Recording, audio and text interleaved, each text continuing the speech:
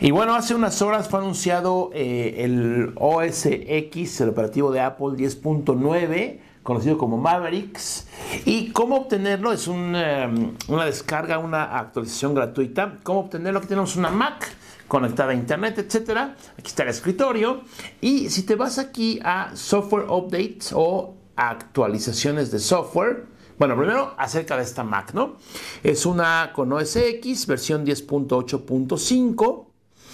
Si yo le doy aquí Software Update, es igual que si le doy allá. Vamos a darle. Abre esta em, tienda de aplicaciones o App Store. Y aquí ya me dice que está disponible el OS X Mavericks este, Power to the Desktop. Y bueno, vamos a ver aquí, Learn More. Aquí me da todas las características nuevas que tiene. Y de hecho, si aquí le das More en este More de acá, te da todavía más todo lo que hace, ¿no? Que hay books, los mapas, calendario, Safari, iCloud, Keychain, eh, múltiples eh, monitores simultáneos, notificaciones, todo eso que hace ¿Qué dice que hace? Ahí está. Entonces, bueno, ¿cómo obtenerlo? Pues muy fácil. Le das aquí Free Upgrade. Pum. Install. Y cuando le voy a dar install va a aparecer y me va a preguntar mi cuenta de Apple ID y mi password. El cual es así, pues vamos a ponerlo por acá. Sign in. Oh, allá ah, sí, sí. Es que tengo algunos. Ahí está. Sign in. Entonces valida mi cuenta de Apple, por supuesto. Y ahí está. Downloading. 5. Mira. 29 gigas es lo que mide. Está bajando 5.29 gigas. Hay que ser pacientes, esperar, em, volver a esperar, esperar más, seguir esperando. No hay un indicador aquí, tiene que, eh, había un indicadorcillo por ahí. Creo que aquí ya lleva 117 megas, 122, 120. Bueno, servidores tienen ahí en Apple. Bien, pues ya acabó, o dice que ya acabó y nos apareció esta ventana que dice OS X Mavericks, dice para eh, instalarlo, apriétale continuar, ¿no? Básicamente, vamos a darle continuar y lo que va a pasar es que me dice que estoy de acuerdo con la licencia de uso, ya leyeron, ¿verdad? Rápidamente, ya leímos, sí, a ver en qué acaba. Em, Venezuela, ok, agree. Eh, dice que ya lo leíste, sí, ya lo leí, agree. Y me dice, ok, ¿dónde voy a instalar el OS Mavericks? En el único disco que tengo aquí. Acuérdate que aquí puedes tener varios discos. En este caso, esta máquina nada más tiene un, disco duro. Ahí, instalar. Oh, me pide el password. Claro, claro. Enter. Ahí está. Eh, preparando para instalar, tu computadora va a reiniciar automáticamente a 13 segundos, ah, poco, tan poquito. Tu computadora va a reiniciar automáticamente en 25 segundos, 24, ya le damos 3, 2, ya, reinicia. Oh, ¿cómo? Cierra todo. O sea, mi correo, cosas así, cierra todo. Todo. ¡Eh! ¡Eh! ¡Uf! ¡Ya! A ver. Restarting. No respaldé, no hice nada. Venga, vamos a poner el Mavericks. Ay, espero que no pase nada. No, no va a pasar nada. Y si no, pues está la nube. Eh, Santa María, nube de Dios. Vacupea por nosotros. ¿No? Eso está bueno. Ahora llegó la hora de nuestro format. Cerca de 35 minutos. O sea que bueno. Usaremos otra vez la magia del video. 35 minutos se eh, reboteó y otros 10 minutos y ya nos está pidiendo aquí, está mi nombre y nos pide el password que es Javiercito. Eso. Y ok, me dice, por favor, logineate o regístrate con tu Apple ID. Vamos a hacerlo. Entonces, se llama aquí, así me llamo. Creo que es esta, a ver. Creo que sí. Este, continue. Allow this Mac to be used with Find My Mac. Mm, pues sí, sí queremos. Y está términos y condiciones, todos los eh, agregamos o estamos de acuerdo. Eh, aquí me pide que si quiero guardar mis passwords en iCloud, sí, ¿no? Pues, sí. Este, eh, Keychain en iCloud mantiene los passwords y la información de, las tarjetas de crédito. Y me dice que, ok, en todos los dispositivos que ya pruebe, tu información está encriptada y no puede ser leída por Apple ni por Snowden. ¿Cómo se llama el Snowden? Okay. Un, ok, un código de seguridad para iCloud, ya está. Lo reentreo, listo.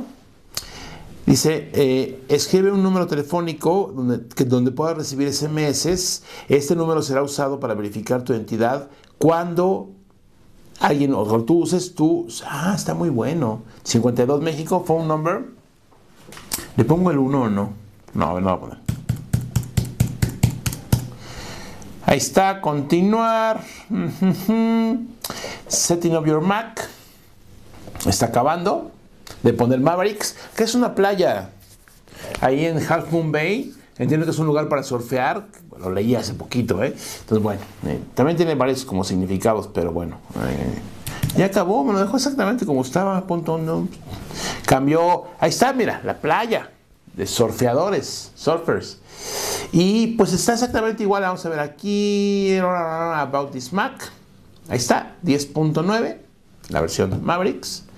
Eh, a ver aquí, déjame ver, aquí viene un update, tres updates. Keynote, que ah, son las nuevas versiones de Keynote, iMovie y iPhoto.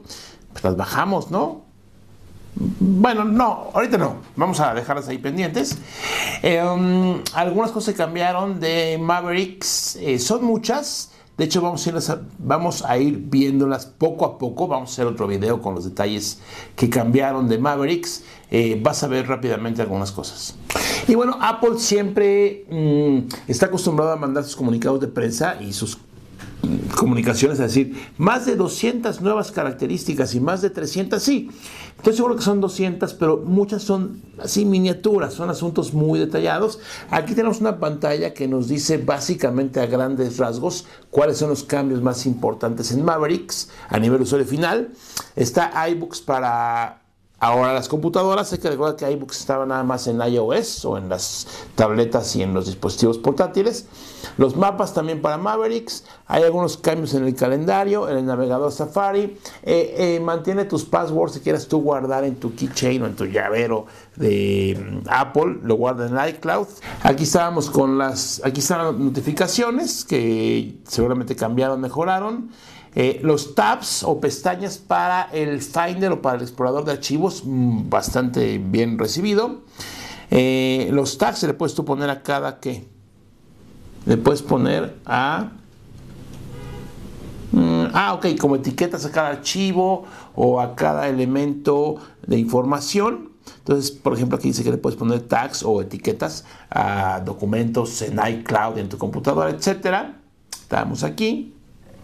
Oh, estamos aquí.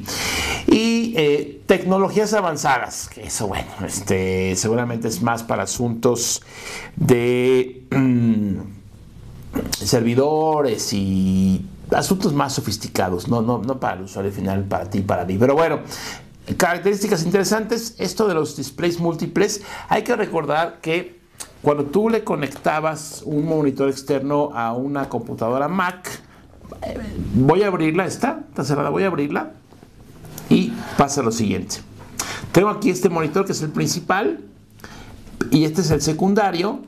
Antes, en el secundario, no tenía mi barra del menú, simplemente tenía la, el display solito.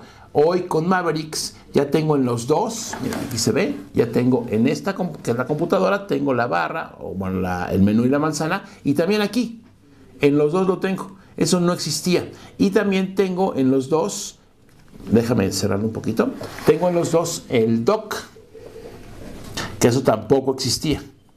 Eh, eh, cuando ponías uno o dos monitores externos en Apple, en estas máquinas, eh, simplemente lo que hacía era extender la, la, pantalla o el escritorio hacia el monitor externo y em, no tenías estas funciones o, el menú en el segundo monitor o tercer monitor. Ahora ya lo tienes. Es una de las... Ah, bueno, voy a cerrarlo.